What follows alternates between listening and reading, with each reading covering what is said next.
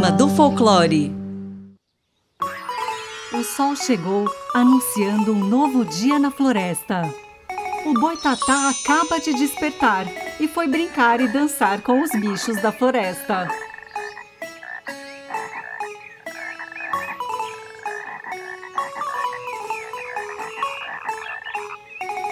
Ele então se reúne com seus amigos da turma do folclore.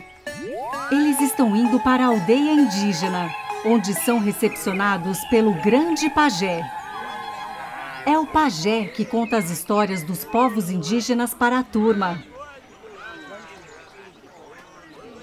Depois da visita, o boitatá e a turma do folclore vão passear pela floresta. E lá, em um casulo roxo, um delicioso cheirinho invade a mata. Que cheirinho é esse, hein? É a borboletinha fazendo chocolate para a madrinha. O cheiro atrai as araras.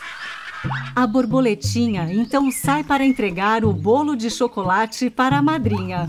O cheiro do bolo vai enfeitiçando toda a turma do folclore. E até o boitatá desperta com esse cheirinho gostoso. Quando o fim da tarde chega, a turma toda se reúne embaixo de uma grande árvore. E lá ensaiam a dancinha do pôr do sol. Eles decidem armar um piquenique com muitas frutas. Até que o guloso do bicho-papão chega e devora tudo. Quando o dia termina, a lua sobe ao céu para iluminar a floresta. Mas o boitatá ainda tem uma última tarefa: espantar o lenhador. E ele consegue! a turma do folclore então comemora e agradece a cobrinha, assim como os bichos da floresta. O boitatá então sai pela mata adentro para encontrar um lugar para dormir.